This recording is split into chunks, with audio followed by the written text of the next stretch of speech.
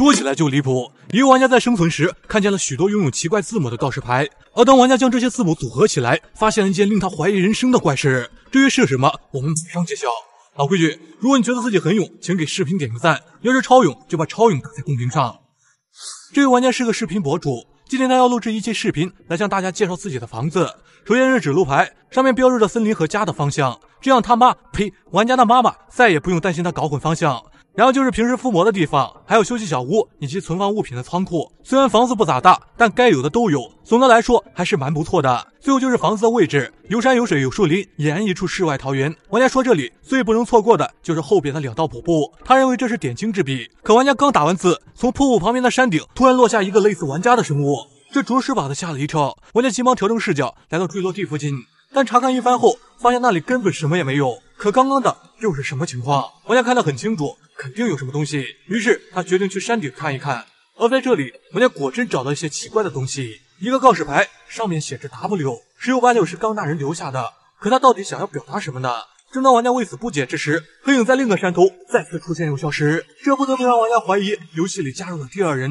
他打开了状态标签，发现真的有第二个人。对此，玩家只感到一阵毛骨悚然，因为这不是服务器，也没有打开局域网，只是一个非常普通的单人游戏。所以这人是哪来的？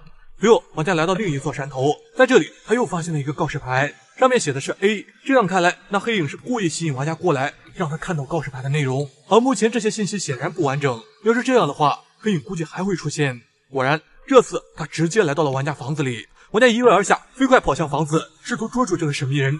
但到房子里，他并没有找到神秘人，而是在床头的箱子里看到了一本书。对此，玩家辩解道，说自己从来没有放过什么东西，那只能是神秘人所为。而书上只有一个字母 K，后面在神秘人的指引下，玩家又找到一个字母 E 的告示牌。这时，玩家在公屏上发出质问，问他是谁。可这个神秘人没有回应，继续指引下一个地方。而玩家走到那里，告示牌上的内容着实令他有些惊讶，因为这次的内容不再是字母，而是一个完整的词语。难道那家伙现在在房子里？玩家突然有种不好的感觉，于是急忙往那里赶去。很快，他便来到房子这里，而打开门出现的家伙。玩家二话不说，上去就是一套连招。神秘人没撑多久就被干掉，他的名字在此刻也终于显现出来——爬行者。看着这个名字，玩家无比熟悉，但就是想不起是谁。这时，这个叫爬行者的用户说话了，他说不理解玩家为什么要干掉自己，然后是极限模式无法重置之类的话。说完便离开了游戏。玩家一脸懵逼，完全不明白他在说些什么。稍微冷静了下，玩家想到，每次神秘人出现都会留下什么信息，那这次应该也不例外吧。于是他开始了寻找，而这最后的信息就在门框上面，写着 UP。玩家试着将得到的所有信息组合了起来，结果得到一个词语 “wake up”，即为醒来。玩家顿时头皮发麻，眼前的游戏难道是一场梦？而那个神秘人其实就是自己。